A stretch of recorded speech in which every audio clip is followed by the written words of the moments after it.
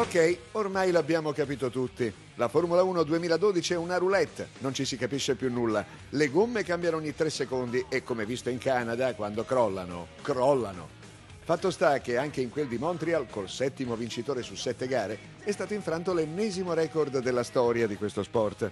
A ben vedere però non è tanto la vittoria di Hamilton a sorprendere, anzi, lui è uno dei piloti migliori, ha un'ottima macchina e sul circuito dedicato a Gilles Villeneuve è sempre andato forte. Quindi tutto sommato stavolta siamo nella logica dei pronostici della vigilia.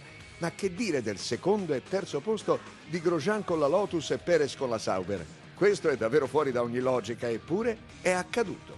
Ma come sarebbe? Hamilton vince e Button? Niente, non pervenuto. Le Mercedes? Nine! Raikkonen? Chiamate chi l'ha visto. E le Red Bull? Neanche quelle sul podio.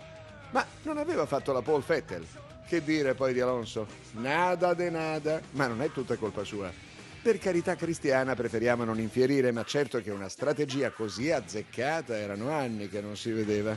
Vabbè, facile ironia col senno di poi, direte voi, ma il fatto è che i punti persi di un secondo posto quasi sicuro, diventato alla fine un quinto, potrebbero pesare molto a fine stagione.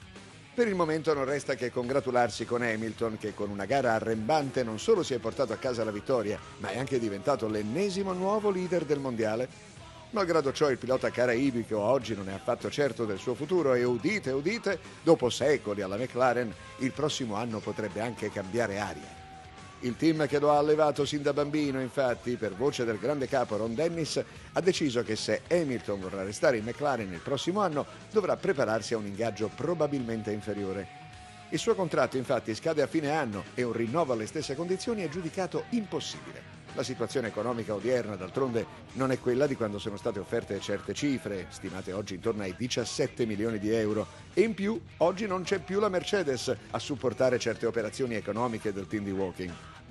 Insomma, la crisi se la beccherà anche il povero, si fa per dire, Hamilton, che per il momento si gode comunque la sua leadership eridata. Ecco, forse la chiave per capire qualcosa di questo intricato romanzo giallo che è diventata la Formula 1 è proprio la classifica, e non solo quella piloti. Se chi vincerà alla fine resta un'incognita assoluta, sta cominciando a diventare chiaro chi non vincerà. Tra i top team, tre nomi in primis, Button, Massa e Schumacher il primo si è perso per strada dopo un ottimo inizio, mentre gli altri due non sono nemmeno mai entrati in lizza, pur con due vetture con le quali i compagni di team sono riusciti a vincere e a fare punti pesanti.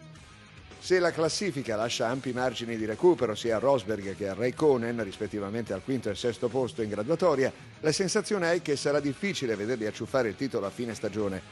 Il buon Nico ce la mette tutta, ma la Mercedes non sembra aiutarlo abbastanza mentre Raikkonen, oltre a finire quasi sempre dietro al compagno Grosjean nelle prove, comincia a farlo con costanza preoccupante anche in gara.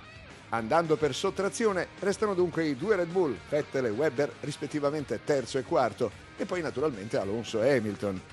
Verosimilmente sarà uno di questi quattro il campione del mondo 2012, ma visto come vanno le cose ci aspettiamo delle repentine smentite a ogni Gran Premio.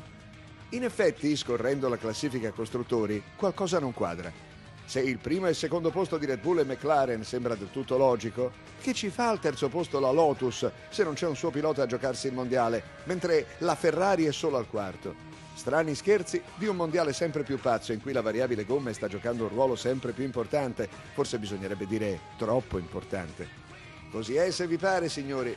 E allora non resta che goderci questa folle roulette. Les jeux sont faits, rien ne va plus. E vediamo che numero esce stavolta. Sarà mica quello di Raikkonen? Manca solo lui, o magari Massa, perché no? O arriverà l'ennesimo outsider. Lo scopriremo solo a Valencia, dove si disputerà il prossimo Gran Premio.